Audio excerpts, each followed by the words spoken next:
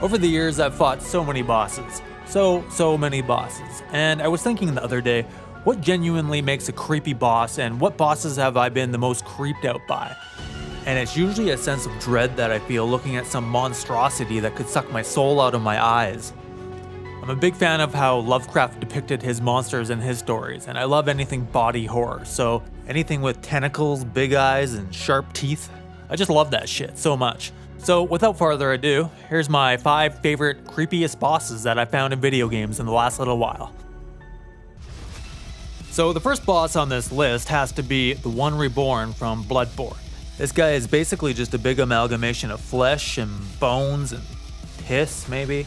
What's creepy about this guy is the Bell Maidens around the area. Once you kill them, he slowly starts falling apart. So it's assumed that the Bell Maidens are creating some kind of ritual that's keeping him held together. What the fuck? And don't even get me started on the level going down to this guy. You're going down this street and there's just bodies stripped of their flesh everywhere and they look like they're trying to escape from something. The whole place just looks like one big sacrificial pit. It's really creepy stuff, man. The funny thing about this guy is he's kind of a pushover. He looks like this big, intimidating outer god, but he's kind of a little wimp. That doesn't take away from the fact that he's menacing as hell looking, and I hope I never find myself in the Bloodborne universe.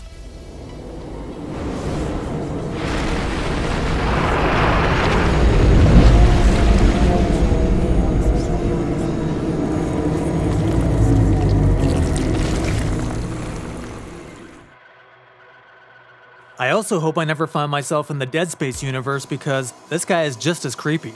They call this big old meatbag the Hunter. The worst part about this guy is he has regenerating cells, so you can't really kill him. The only way to fully kill him is to incinerate every last cell in his body, so good luck. This guy is basically the definition of when overkill is actually needed. There's nothing creepier than unloading a hailstorm of bullets into this guy, turning him into a gooey pile of mush, and then watching that gooey pile of mush slowly rebuild itself. There's just something inherently creepy about something that can't be killed.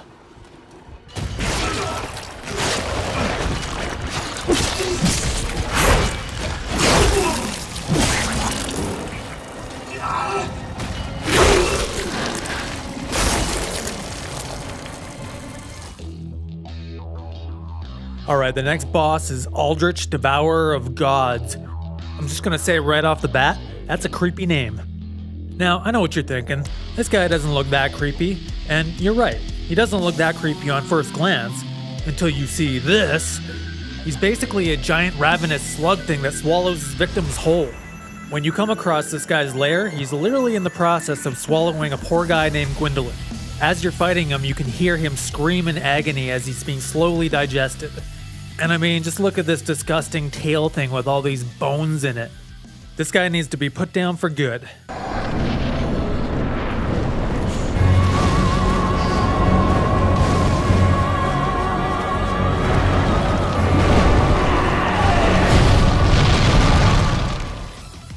The next boss on this list would be Lisa Trevor from Resident Evil. This is probably the saddest story out of all of them, in my opinion. She just so happens to be the daughter of the architect who worked on Spencer Mansion. After the mansion was completed, her father was killed and she was abducted and forced to undergo crazy experiments that turned her into this grotesque thing you see here. Her whole life has basically been torture, and she wanders the Spencer Mansion halls looking for the ones who wronged her. Like the hunter, her cells regenerate at a rapid rate, so she can't really be killed by bullets.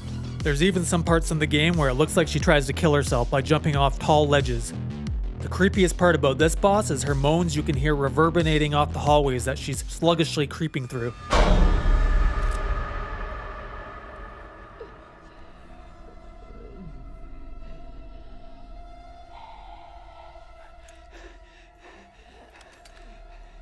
Uh, guys?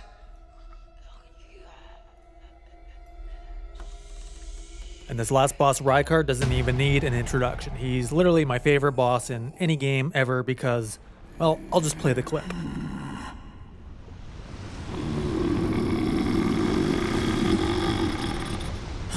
Very well.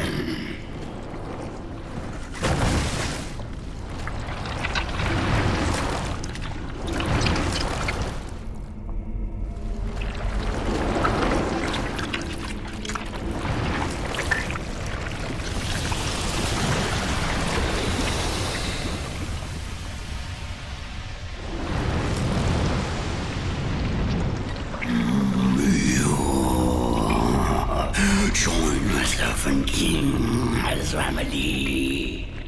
Together we will devour the very gods.